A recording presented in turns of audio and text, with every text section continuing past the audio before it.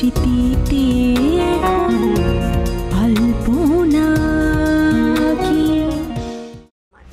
আমি যেভাবে বলব তোমাদেরকে সেভাবেই চলতে হবে। আর এই বাড়িতে বসে এই ধরনের কোনো কিছু করা যাবে না।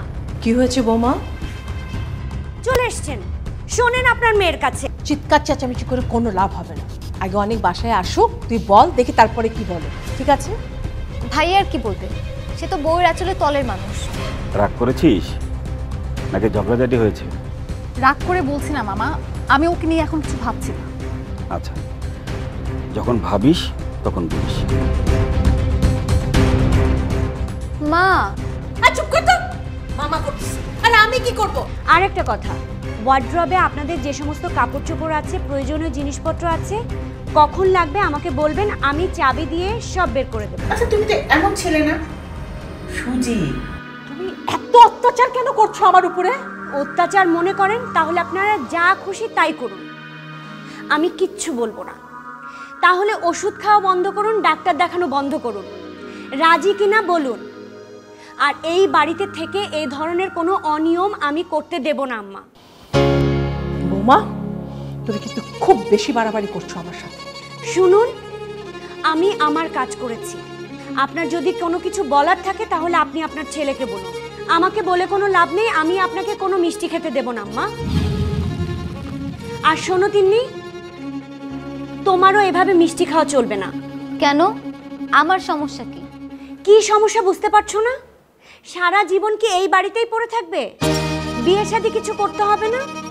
আশ্চর্য। বিয়ের সাথে সাথে মিষ্টি খাওয়ার কি সম্পর্ক? রোজ রোজ মিষ্টি খেলে তোমার শরীরের ওজন বাড়বে। আর এই ওজন বেড়ে গেলে তোমার কি কোথাও বিয়ে হবে? কেউ তোমাকে বিয়ে করতে চাইবে? আমি মোটা হলে তোমার সমস্যা কি? আমারটা আমাকে ভাবতে দাও। সেটা বললে তো হবে না।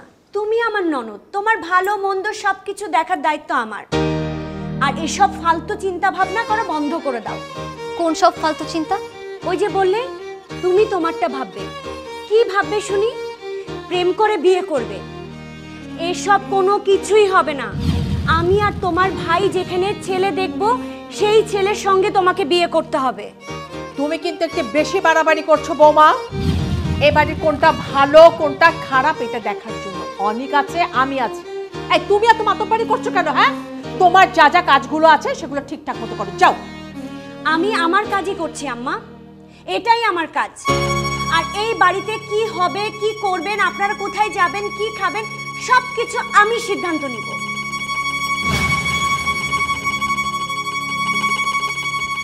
তোমার এত বড় সাহস? তুমি আমার মুখের উপর থেকে মিষ্টি নিয়ে গেলে? আজ অনেক আসুক। আজ যদি এর বিচার না করে, এই বাড়ির বাড়ি পর্যন্ত আমি না। তুই কথা বলতেছিস কেন হ্যাঁ? তুই কথা বলতেছিস কেন? সারাদিন থেকে বসে বসে পড়িস তো ডাব্বা মারিস। এখানে কেন বসে পড়িস আমি বুঝতে পারছি ওই যে ফোনটা আছে, এই জন্য। তোর জন্য। তোর জন্য আমার এতগুলো কথা শুনতে। আমি কি করলাম এখানে? মিষ্টি তো তুমি খাচ্ছিলে। তুমি শুধু শুধু আমাকে কেন এই, চুপ কর!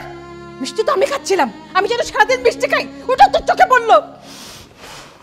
আমি আমি নিতে পারতেছি না।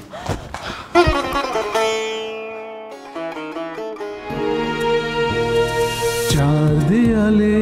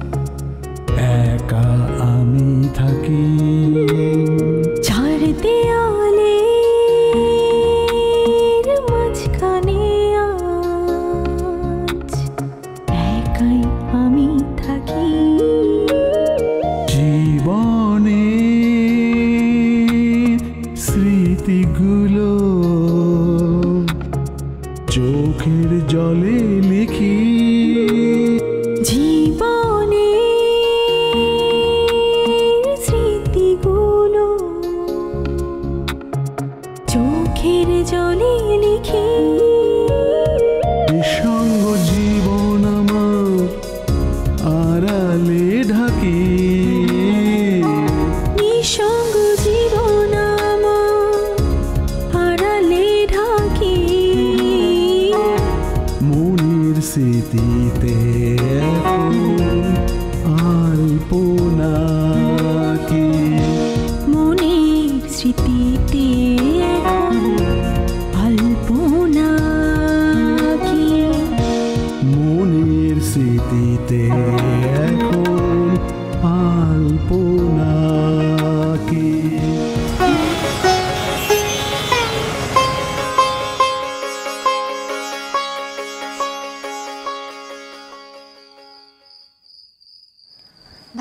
করছ?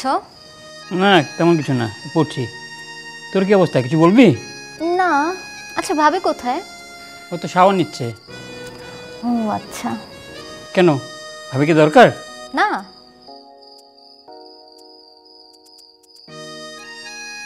অনেক? কি মা? কি ব্যাপার? তোর বউ কি আমাদেরকে না খেয়ে মারার প্ল্যান করছে নাকি হ্যাঁ? না খেয়ে মারবে? কেন কি হয়েছে? ভাইয়া মা শুধু একটু মিষ্টি খেতে গিয়েছিল। ভাবি এসে ছো মেরে মায়ের হাত থেকে নিয়ে গেছে। ঠিকই তো আছে। মার তো মিষ্টি খাওয়া ঠিক না। আমি সেটাই জানতাম যে তুই এই কথাটাই বলবি হ্যাঁ? কেন? একটা মিষ্টি কি খাওয়া যায় না?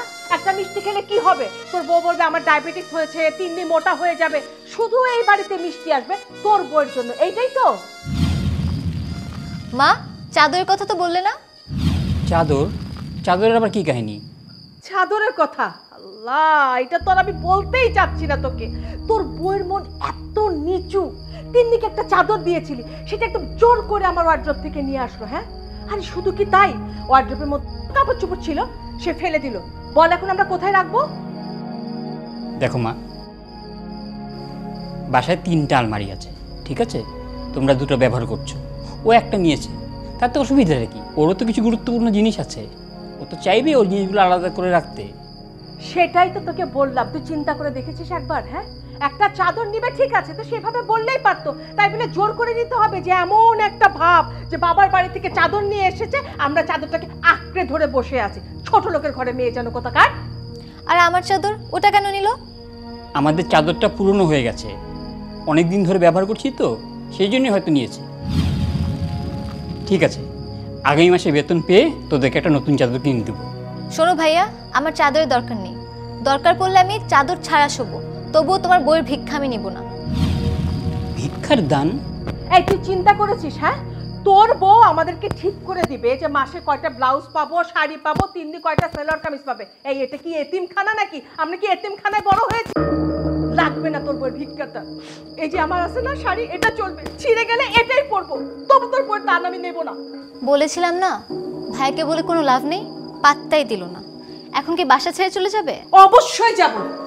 থাক গেলাম। চল।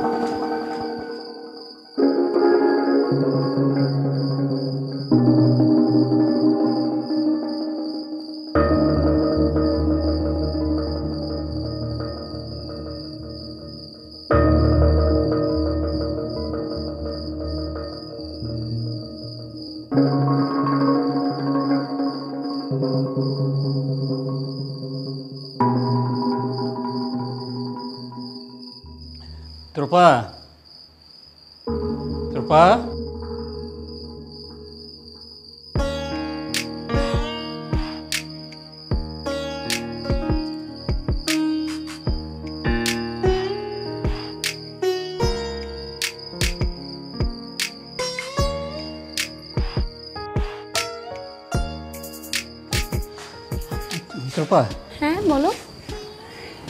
না মানে তুমি নাকি মাকে মিষ্টি খেতে দাওনি? কে মা বলেছে? দেখো অনেক মা ডায়াবেটিক্স হাই বিপি। এই অবস্থায় যদি সে আরও মিষ্টি খায় অনিয়ম করে তাহলে তার শরীরের অবস্থা কি হবে একবার ভেবে দেখেছ? না না সেটা তো ঠিকই আছে।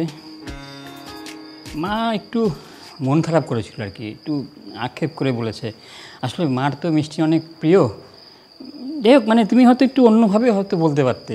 তোমার কাছে এসে নালিশ করেছে না মা? না না নালিশ না মানে একটু আক্ষেপ করে বলছিল আর কি। বললাম না মিষ্টি মার খুব পছন্দের। দেখো অনেক আমি যা করেছি সব ঠিক করেছি। এই বাড়িতে কোথায় কোথায় অনিয়ম চলছে তুমি তার কোনো খোঁজ খবর রাখো না। যখনই আমি কোনো নিয়মের কথা বলতে আসি তখনই আমার বিরুদ্ধে ষড়যন্ত্র শুরু হয়ে যায়। কেন বলো তো? আমি তো নিজেও বুঝতে পারি না। আমি কি তার খারাপ চাই বলো? আচ্ছা আমার যদি ভুল হয়ে থাকে মার কাছ থেকে মিষ্টি নিয়ে আসা তাহলে মাপ চাচ্ছি। আমাকে তুমি মাফ করে দাও আর তুমি যদি বলো মায়ের পা ধরে মাপ চাবো তাহলে চলো আমি মাপ চেয়ে যাচ্ছি। না, তারপর ব্যাপারটা সেরকম না। আসলে আমি বলছি শোনো মানে না তো তো তোপা মানে আমি কি করব এখন?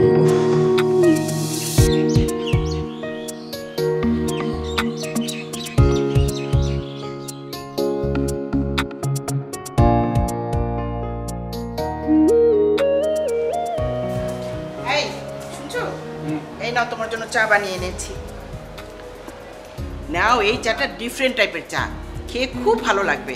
জানো এটা তোমার জন্য শ্রীমঙ্গল থেকে এনেছি। আর সেখানে কি হতো জানো শ্রীমঙ্গলে সুজিকে আমি এই চা রোজ বানিয়ে দিতাম। সেই চা খেয়ে তো মহা খুশি। ও তো কি ও দারুণ। চা খেয়ে দেখো না। আরে এই চা তুমি এখানে পাবেই না। আমার পাওয়ারও কোনো দরকার নেই। তোমার এই চা তুমি খাও তোমার সুজিকে খাওয়াও তোমার শ্রীমঙ্গলকে খাও আমার খেতে হবে না। কি আস-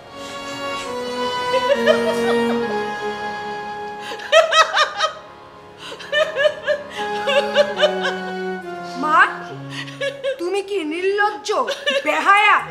কি হয়েছে তোমার? কি সমস্যা? তোমার দিন দিন বয়স কি বাড়ছে না কমছে? কি শুরু করেছ এই বয়সে তুমি? আমি আবার কি শুরু করলাম? আমি তোর বাবার জন্য চা বানিয়ে এনেছি। চা বানিয়ে নিয়ে এসেছ? খুব ভালো কথা। তোমার এইসব গল্পের দরকার কি? যে সকালবেলা তোমার বন্ধুকে তুমি রোজ চা বানিয়ে খাওয়াতে সে তোমার প্রশংসা করতো এগুলির কি দরকার ছিল? কেন? বললে কি সমস্যা?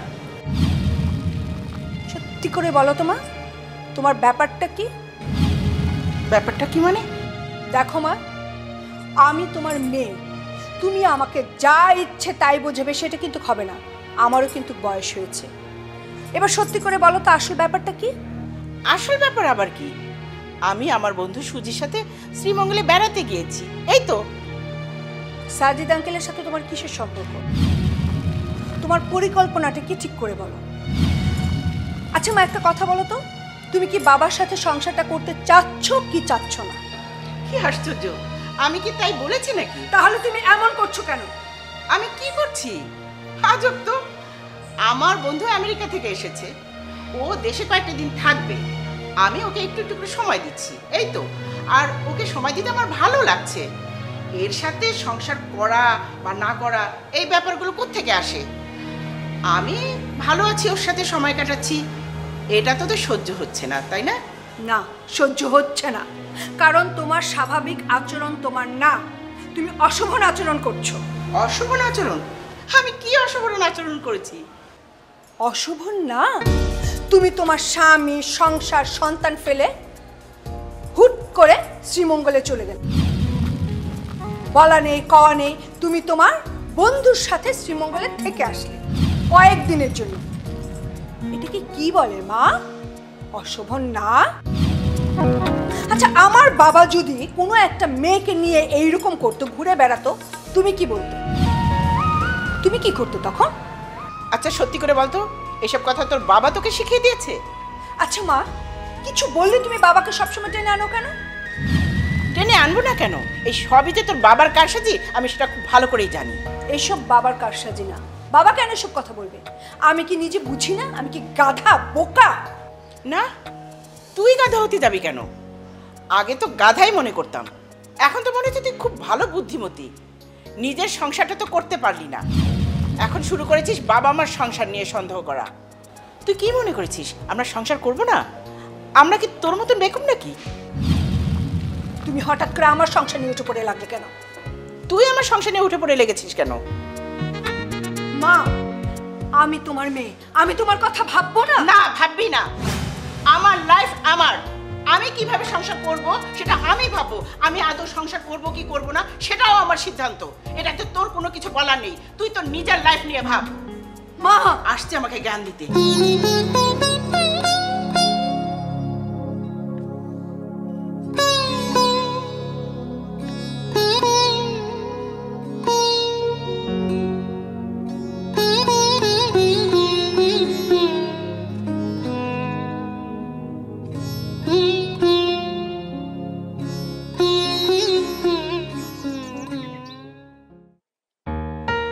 যেভাবেই হোক ভাবিকে ঘর থেকে বের করতে হবে।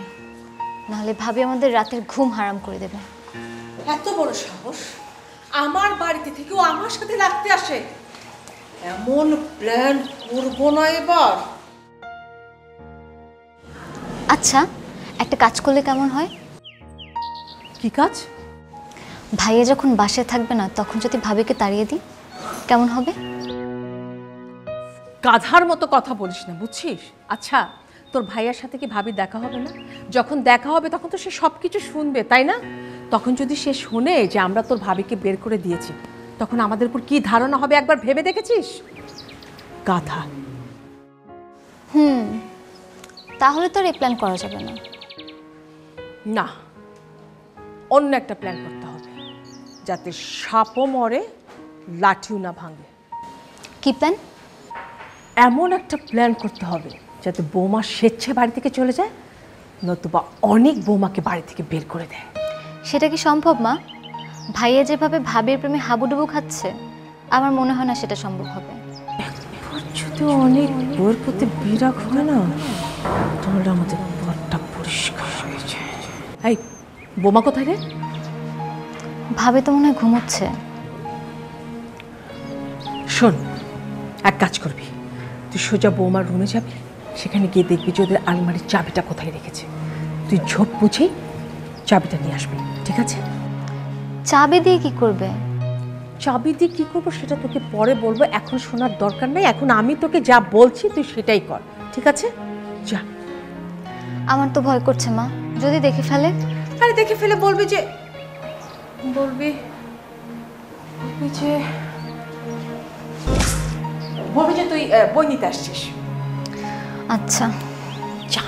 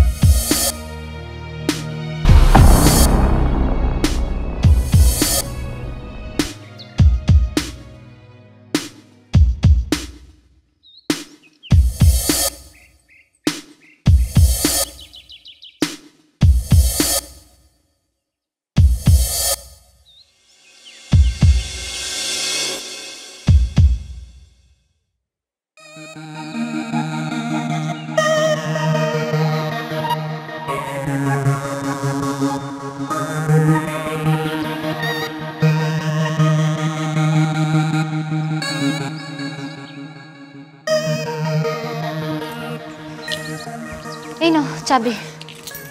তাড়াতাড়ি কর বাথরুম থেকে সাবানটা নিয়ে আয়। সাবান দিয়ে কি হবে? আরে এত কথা বলার সময় নেই তুই তাড়াতাড়ি সে সাবানটা নিয়ে যা।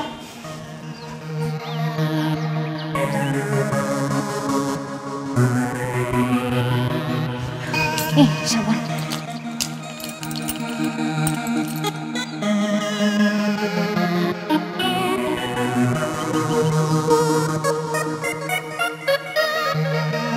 তাড়াতাড়ি রুমে দিয়ে। আবার যাব? আরে কি আশ্চর্য তোর ভাবে ঘুম থেকে ওঠার আগে যা তাড়াতাড়ি যা।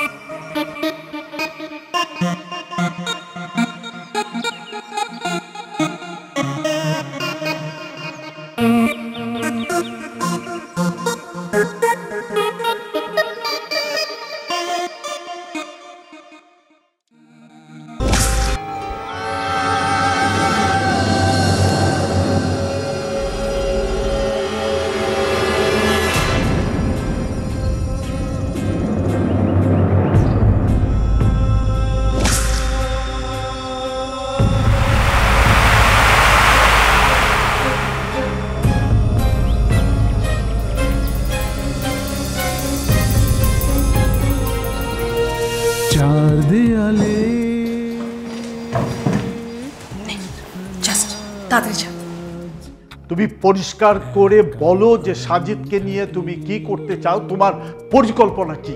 দেখো সুজি সম্পর্কে তুমি আমাকে কিছু জিজ্ঞেস করবে না। তুমি কখন এলে? অনেক আমাকে ডাকুনি কেন? কি হয়েছে বিয়ে সাহেব? কোনো খারাপ সংবাদ? না মানে তেমন কিছু না না না বিয়ে সাহেব আপনার গলাটা যেন কেমন শোনাচ্ছে। নিশ্চয়ই কোথাও আছে একটু ভালো করে খুঁজে দেখো তাহলে পেয়ে যাবে। আমি ভালো করে খুঁজেছি এখানে কোথাও টাকা নেই। তাহলে হয়তো তুমি নিয়ে গিয়েছো তোমার মনে নেই। কোথায় রেখেছিলে? ওয়ার্ড্রবে ওয়ার্ড্রোবে রেখেছিলে? ওয়ার্ড্রোবেই থাকবে। এখন অল্প